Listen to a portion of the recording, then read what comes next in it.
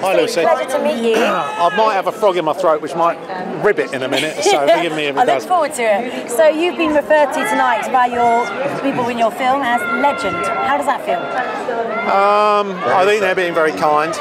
Um, they, you know, the thing is, on these sets, it's a collaboration of the entire team. And what we try and do is you create a sort of committee. And that committee, you want to be on the same frequency. And Charlie is, um, Jude is, and any of the other key actors. I think we all we all share that frequency. So there isn't anyone that really. I mean, I've got to steer the head of the tiger, uh, but really I play headmaster more than anything else. I mean, you wore a hat and a cape Well, actually, I say sometimes I'm headmaster. Sometimes uh, they have to put, keep me in order. Well, you haven't got a bad gig getting your wife involved and your best friend. That's kind of cool, right? Listen, I mean, I'm all about frequency, so I'm all about anyone that's on the same page, uh, getting into uh, anything that can express that form of creativity.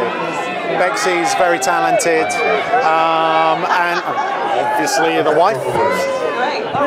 She's all right. Let's talk about Bex. From a critic's point of view, what do you think of him? How Oh, I it? think he's fa- oh no no he's fabulous, and I think you'll find anyone that can be objective about this will agree. Uh, it might be easy for the critics to have a go, but they want a they want a headline. He's really very good, and anyone objective can see that. I love the way that the, prosthetic, the prosthetics don't even make him look bad. It's odd that. so there's a root story about that, but I'm not going to tell you. Was it your aim to try and make him look a bit ugly? Yeah, yeah. I mean, we tried. I mean, he was in that chair for about six hours, and it still didn't help. Yeah, he still looks fit. and just finally, you must talk about Aladdin. Are you excited about this? Very excited. Five kids. How could you not be? I just left the kids watching Aladdin now. Very excited about that. Perhaps they can have a role, maybe? Thank you very Uh, we'll have to wait and see. Guy, thank you very much indeed. Thank you now. Cheers.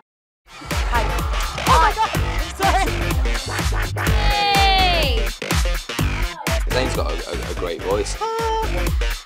I'll just leave it at that. I've wanted to meet you. Uh, yeah, we haven't met each other yet. Got some lipstick on your teeth.